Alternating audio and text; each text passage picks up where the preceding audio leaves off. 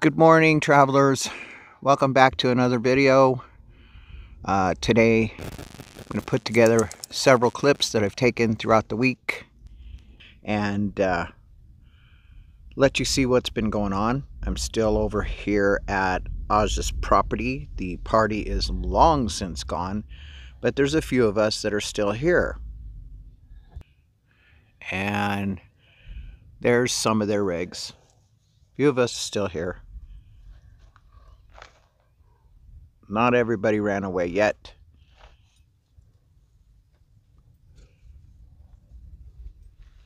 So I've been driving back and forth to my place just about every day to get some work done. And um, got to go back over there today and fill some more sandbags.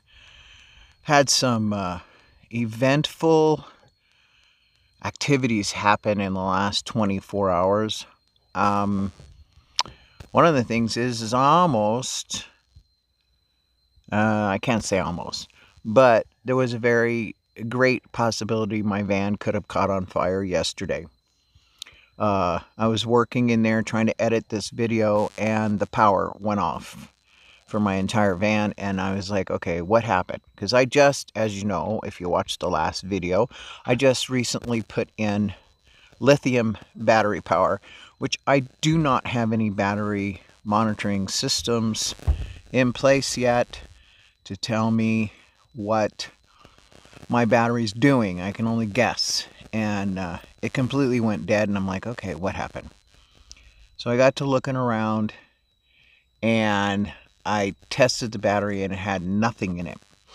So I turned the generator on. I'm like, okay, this can't be so. We've had sunshine for the last several days. Turned the generator on, jump started the battery, and I was able to test it. It was at 14.1 or something like that. So, okay, I've got battery power. Now what's wrong?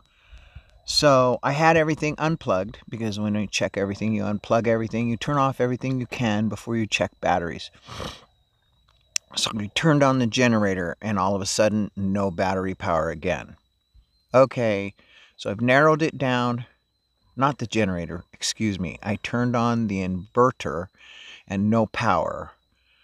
So, okay, that narrows it down to either the plugins that are coming out of the inverter or the inverter itself. So I unplugged everything, jumped the battery over again with generator, it's back up to 14 something and I turn on the inverter and nothing drops every all the power's off. I'm like okay it's probably the inverter. So I unhook the inverter. So I unhook that I unhook everything jump start the battery again the battery's going fine.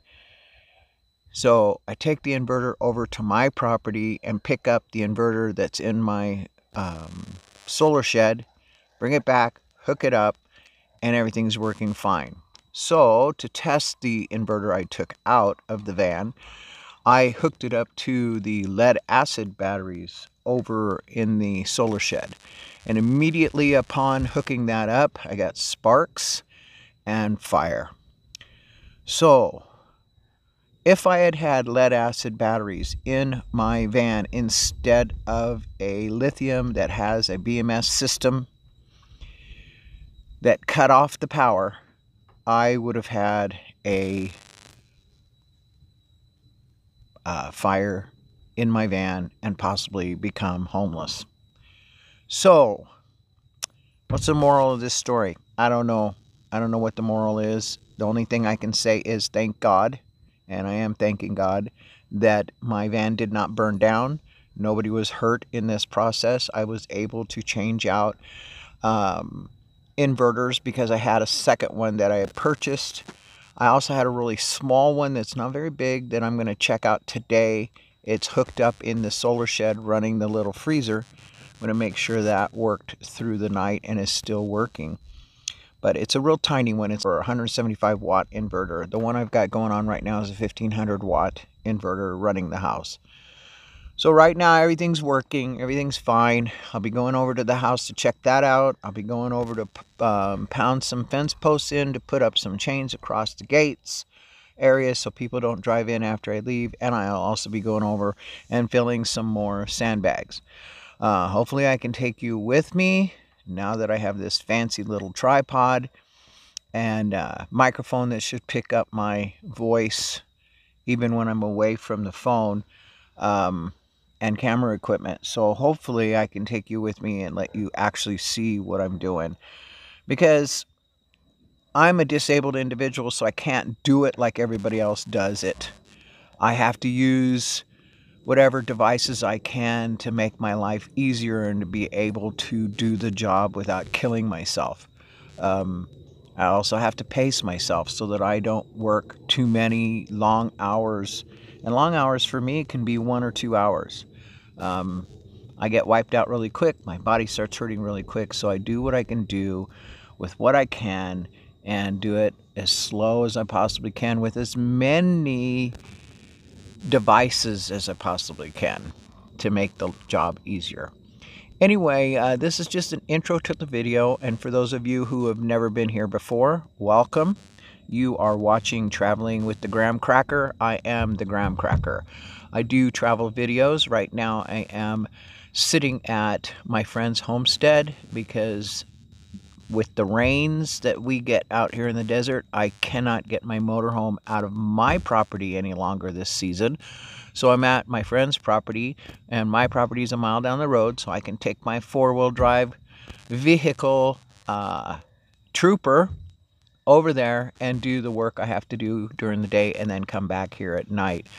Uh, around November 1st, when the temperatures plummet, I will be leaving this area and traveling again for the winter, heading south where it'll be a little bit warmer. I'm not set up for winter living yet. That is coming in a year or two. That's coming as soon as I can get it done. But welcome aboard. Uh, glad you're here. Uh, hit that like button, please. That brings us up in the algorithm, and more people can see that I've posted a video. Uh, subscribe, please. That helps us grow as well. I'm really trying to get to that 10,000 mark. I'm at 7,000 something where I've been for a year. So please hit that subscribe. I know there's a lot of you on here uh, that don't watch. And if you are watching today, thank you for coming back. There's a lot of you on here that have not subscribed, so please subscribe. Anyway, without further ado, we'll get back to the video clips and with some and see what else we can put this video together with. All right, hopefully it's not too long. We'll talk to you later. Talk to you when we get done today. Well, nature's gone and done it. It is official. There is snow up on the San Francisco peaks. And this is October 2nd, 2022. It's been cold here all day. It's been about 50 degrees. And uh, I'm going to have to go buy me a new heater. Mine just quit. That's okay. It'll be warm for the next week or so and I'll be able to go get one. Just about sunset. And somebody is having a bonfire.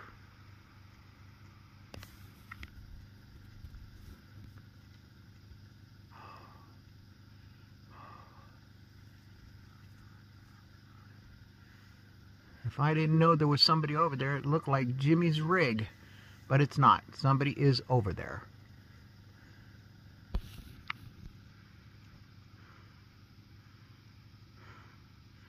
Big fire. Anyway, cold, wet day. Bruce's burning limbs.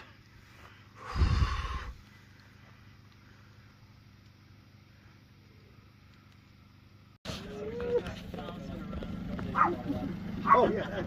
If he goes in that hole, I'm going to film him because I've been waiting and waiting. Is the hole open though? Is it? My camera is just not focusing on this. Oh, I just have him down here at the bottom. He's going through the gate now. He's going way. Oh, he's coming this way now. Uh-huh. No. No. I caught a horny toad yesterday and put it in Aj's garden. A little small one.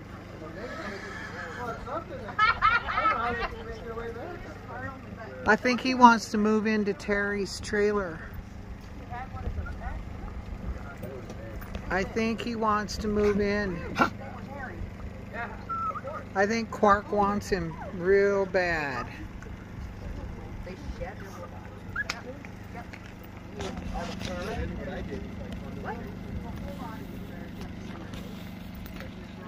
Yeah, he's uh, wanting to go into Terry's place. Lost him. That, my dear friends, is a tarantula hawk. There's a few of them in here that are dead, but this one's moving around. He's got the most vicious sting of any wasp there. He's about two inches long. This is my hand and him in comparison. He's on the other side of that net and I'm not getting any closer, but yeah, he's he's like that big. But that is a tarantula hawk. They kill tarantulas and eat them. Well, their babies eat them. I don't know what these guys eat, but he's trapped. And there's a couple dead ones in there too.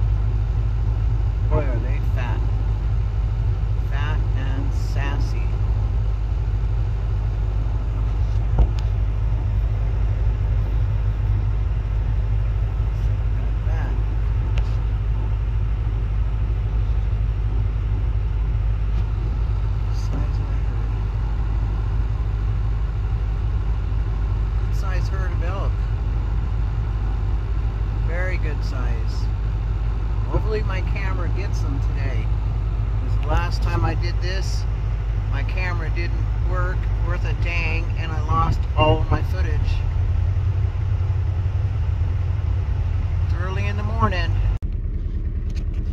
Alright, check this out.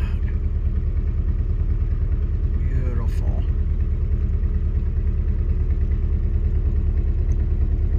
Just beautiful. I'm heading to Flagstaff this morning and this other window over here is really dirty so I apologize for that but the leaves on the aspens are changing and uh, this is the peaks this is Arizona peaks or San Francisco peaks excuse me but this is the peaks this morning beautiful Yo, garden update. I don't know what you can see because I can't see my screen. Hopefully you can hear me. But this is what's going on with the garden. Everything's grown really, really big. Um, lots of tomatoes. Take a look down there. All the tomatoes on the vine. They will be ripe soon, I'm sure. Tomatoes up high on the vine. Uh, my lettuce, I've eaten it twice. It's already grown back. Carrots, I don't know if they're going to be ready, but they look like they're doing pretty good. Anyway, just, just an update on the garden. Get this video out to you as fast as I can.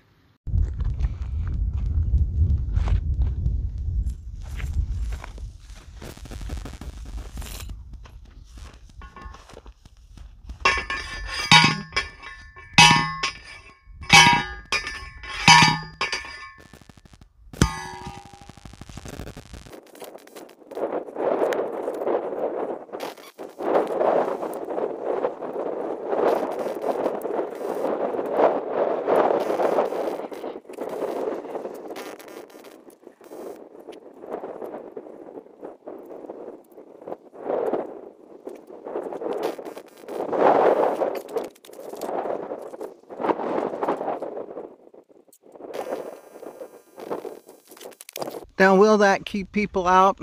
I don't think so. It just keeps people that think there's a road there from driving onto the property. Eventually there'll be a fence here, but until then, hopefully this works somewhat. Um, I don't know, that'll work. But I drove on this property earlier this season and it looks like a road going through and I don't want people driving on it anymore. So this is the corner. Um, I'm going to turn you around.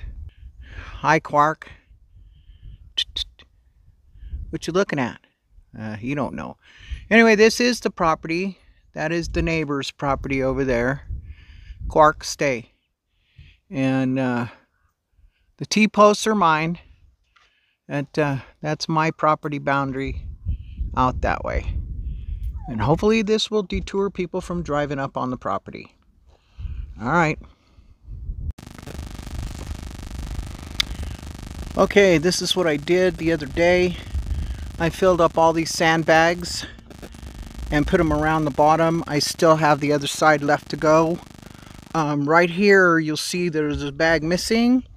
Uh, that's a rat hole. And I wanted to get the rat before I put the bag. And today I got the rat. So I'll be bagging that up today. So no more rats can get in here. Um, around the back there's brick. They haven't tried that spot. And then on this side, I started with the bags and I've got to finish the bags up. Until I finish these bags, rats and whatever can get in. Um, but, you know, we're, um, we're going to get this sealed off as best as I can. And then hopefully that'll keep the rats out. Anyway, digging sandbags or filling sandbags, excuse me, I'm not even digging them, I'm just filling them. I'm using this little hole here, and that's the inverter that caught fire yesterday. using this hole, and I'm going back here in this little ditch, and I'll make this a little deeper, but it takes me a long time to fill up a couple little bags.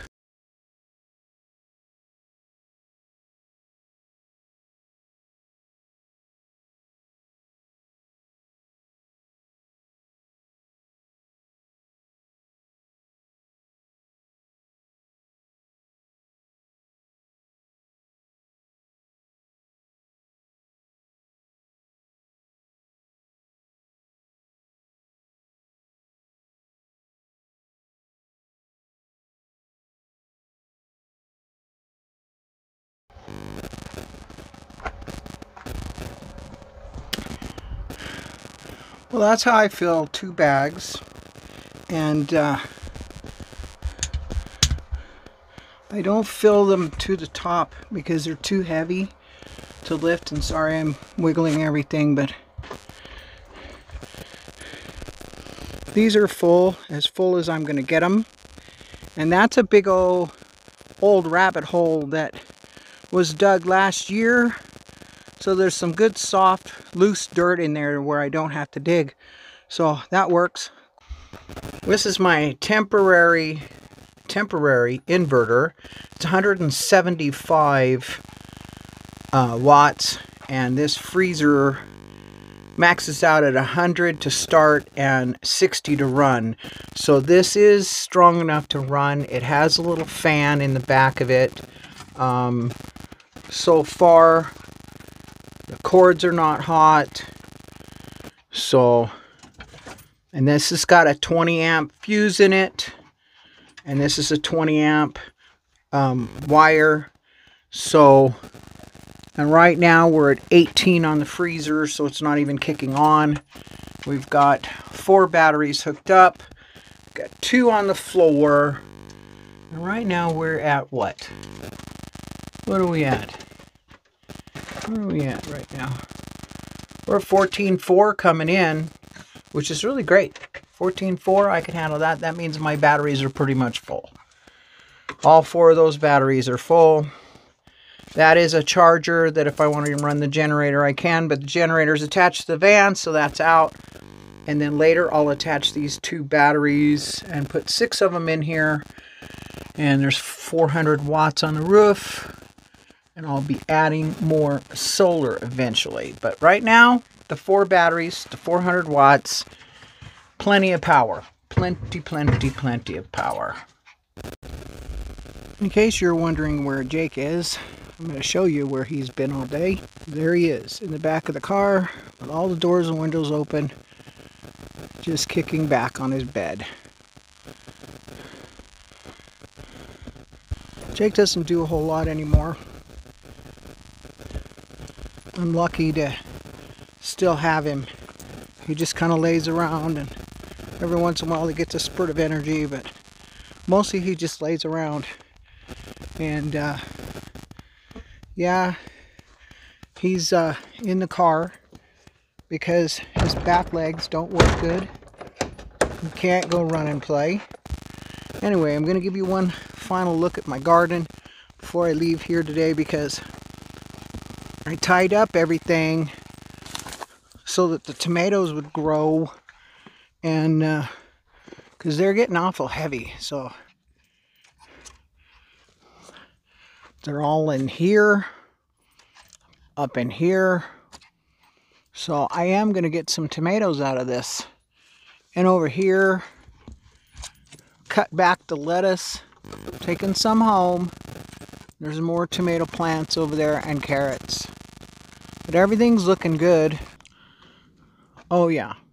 Today I planted some avocado trees. Now they'll be traveling with me on the road. I don't know how many will survive. There's five here.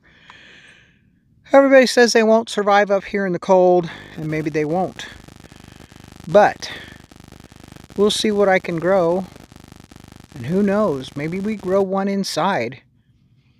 Maybe we grow it so it's so big that it does last the, the winters. We'll see. Today is October, so yeah, I planted those avocados. I don't know if they're going to make it. Anyway, put my gates up today, planted some trees today, worked on some garden stuff today, did all the sandbags. They're finished. Sandbags are completely done. They're completely finished around the red barn. All of them. So we're going to go lock things up and then head back to Aja's. Grab my keys. Head back to. And